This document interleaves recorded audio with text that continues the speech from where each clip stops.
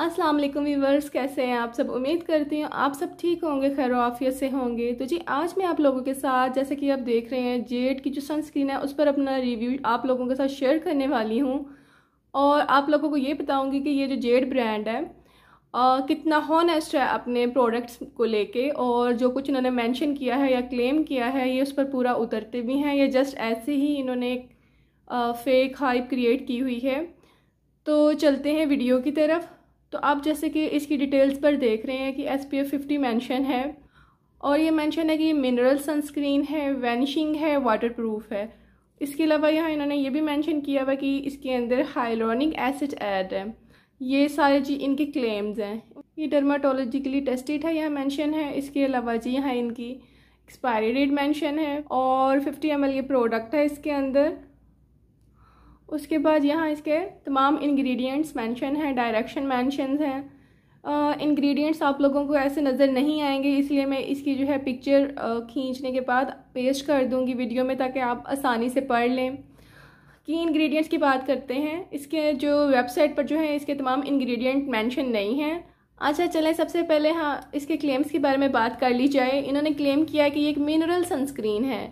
तो इसके अंदर टाइटेनियम डाइऑक्साइड ऐड किया गया है, लेकिन इसके अलावा इन्होंने और भी दो फ़िल्टर ऐड किए हैं, यूवी फिल्टर्स।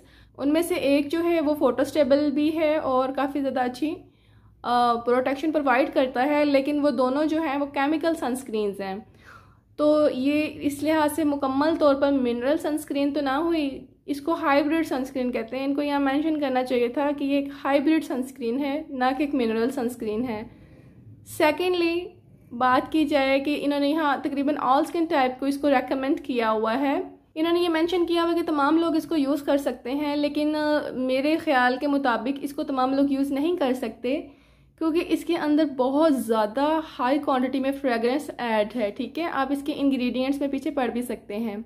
इसमें काफ़ी ज़्यादा फ्रेगरेंस है जो कि बहुत ज़्यादा इरीटेटिंग है।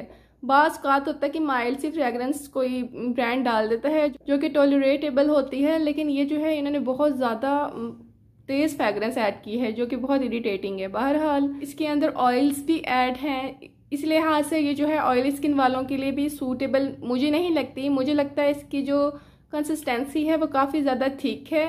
और ये जो है, आपके जो फेस पर जब आप इसको अप्लाई करते हैं तो फ़ौरन स्वेटिंग होनी शुरू हो जाती है, जिसकी वजह से जो है आ, मुझे बहुत उलझन होती है इसको लगाने के बाद। हालाँकि मेरी स्किन ड्राई है मुझे तो लगा कि उलझन नहीं होनी चाहिए लेकिन ये कि मुझे काफ़ी ज़्यादा जो है ये थिक लगी है। उसके इसके अलावा इसके अंदर इन्होंने वाइटामिन सी वाइसमिन ई एसनमाइड ऐड किया है लेकिन वो इंग्रेडिएंट लिस्ट में काफ़ी ज़्यादा नीचे हैं और तकरीबन आप समझ लें कि जो लास्ट इंग्रेडिएंट्स हैं उनमें से कुछ इंग्रेडिएंट्स में से वो हैं। तो इसका मतलब ये है कि इसमें बहुत ज़्यादा कम क्वांटिटी है इन तीनों इंग्रेडिएंट्स की, जो कि बहुत अच्छे हैं, ठीक है? उसके बाद इसके अंदर हाइलोनिक एसिड है, जो कि इसका प्लस पॉइंट है। ओवरऑल जो इंग्रेडिएंट्स हैं ठीक ठाक हैं। बहुत ज़्यादा अच्छे नहीं कहूँगी इस लिहाज से कि जो इन्होंने अंदर फ्रेगरेंस ऐड कर दी हैं और इसको फ्रेगरेंस फ्री नहीं रखा। सनस्क्रीन को बाहर जाते हुए रीअप्लाई करना होता है और फिर इतनी ज़्यादा स्ट्रॉन्ग फ्रेगरेंस जो है, वो आपको इरीटेट कर सकती है।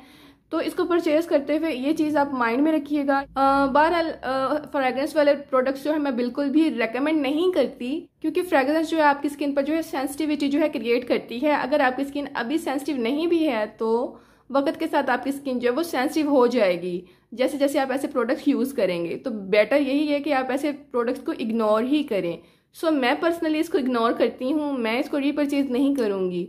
लेकिन फिर भी एक अफोर्डेबल जो है ये ऑप्शन है पाकिस्तान में अवेलेबल है। सिक्स से सेवन हंड्रेड के राउंड अबाउट इसके जो है प्राइस हैं। डीसी चार्जेस के विदाउट बता रही हूँ मैं आपको ओके क्योंकि मैंने आपको इसके तमाम अच्छी और बुरी बातें बता दी हैं तो फिर भी आप में से अगर कोई इंटरेस्टेड है और इसको ख़रीदना चाहता है तो वो आप पर है। सेकेंडली अगर इसके अंदर फ्रेग्रेंस ना होती तो ये ओवरऑल एक अच्छी सनस्क्रीन होनी थी, और मैं जो है इसको आप लोगों को, जो जिनकी स्किन ड्राई है, उनको रेकमेंड कर सकती थी। बहरहाल, जिनकी स्किन सेंसिटिव नहीं है फ्रेग्रेंस से वो इसको परचेज कर सकते हैं। इसके अलावा जो ड्राई स्किन वाले हैं, वो भी इसको परचेज कर सकते हैं, अगर आप ट्राई करना चाहते हैं एक अफोर्डेबल सनस्क्रीन अब बाहर जाएँ तो दो घंटे बाद आप इसको रीअप्लाई कर लीजिएगा। घर में रहें तो बार बार रीअप्लाई करने की ज़रूरत नहीं होती, ठीक है?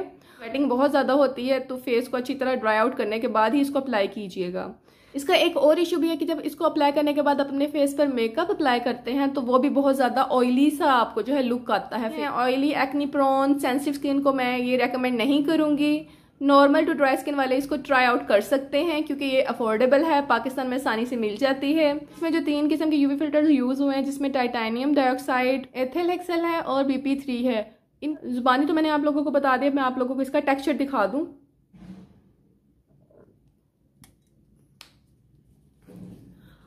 आप इसका टेक्सचर देख सकते हैं, काफ़ी थिक है, ठीक है?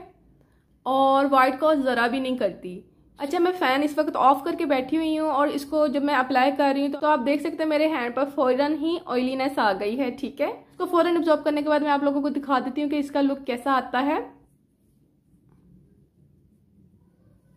ये लीजिए ये ऑब्जॉर्व हो गई है अच्छी तरह हैंड है, बिल्कुल भी वाइट कॉज नहीं करती। डिफरेंस आप देख लें।